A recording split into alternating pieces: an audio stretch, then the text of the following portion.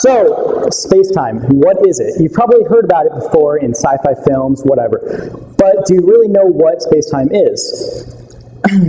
well, what is it? So, space-time is a coordinate system based on the three uh, spatial dimensions of space. So you have length, width, depth. And it has a fabric of space, which is, think of it as trampoline, where if you put weight on it, it will distort. And also, time is interconnected with the fabric of space. So, why is space-time important? Many physics uh, theories use space-time to calculate equations, figure out why the universe is the way it is. So all of these different theories use space-time in different ways. One is special relativity, developed by Einstein. Basically, special relativity says that there are infinitely many reference frames in the universe, and that there's no absolute, absolute reference frame that is more important than the other ones. So what this means is that I have a reference frame, and everyone else does. Every object in the universe has its own reference frame. Every planet, every star, every person, every atom, every quark in an atom has a reference frame. So if you're wondering what a reference frame is, Here's a basic explanation. So if I look to my right and everyone in the audience looks to their right, we're looking in completely opposite directions. So that means that my reference frame for left and right are much different than yours. And this carries out throughout physics. So for relative speeds and um, like your relative positioning to other places. So that's why reference frame matter in different physics, and of course, different theories use it differently.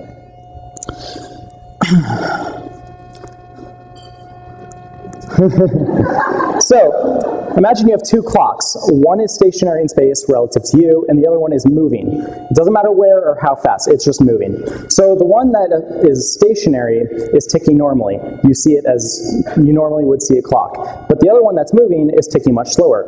Now if you switch your reference frame and view as the moving view the moving clock as stationary, while mo the moving clock is now stationary and whatever. Flip, flip your reference frame. so it it's ticking normally. So what this means is each clock is ticking normally for itself and for someone that views it as stationary. The other clock is always going slower because it's moving. And that is what special relativity is about. So another theory is general relativity. Oh, first of all, uh, that's called time dilation due to velocity. And so you, if you have two objects that are moving at different velocities, say one's stationary and one's moving, there's a time difference. And the closer you get to the speed of light, the more time difference there is. So general relativity, also developed by Einstein, basically describes the universe so energy distorts the fabric of space. And due to E equals mc squared, which you've probably heard of, mass is energy. And to further explain on E equals mc squared, you can basically take out the c, which is the speed of light, and it, mass is energy, energy is mass, and it just relates those two quantities of space. So what this means is when energy or mass distorts spacetime, you have time dilation due to gravitation. And the same effect occurs where time will slow depending on different factors. First is velocity, now it's gravity. So imagine the Earth is warping space-time, this trampoline-like uh, thing, and you have things circling the Earth. Satellites, the Hubble, GPS satellites, they all experience time differently than we do on Earth. GPS satellites constantly have to get their clocks retimed so no one will get lost on their way to wherever they're going. Black holes warp spacetime much more than the Earth does. And there's a point where before you get pulled in or sucked in, whatever you want to call it, time is virtually at a standstill. That's called the event horizon. So if you have a spaceship that goes on the Earth, you might have time travel. So if you can slow down time, does that mean you can travel in time? Yes, you can. So you can time travel. And there are different ways. However, before I say yes, you can time travel, it really depends on your definition. You cannot go back in time as we know it. There are probably wormholes that you can use, but that's another topic completely.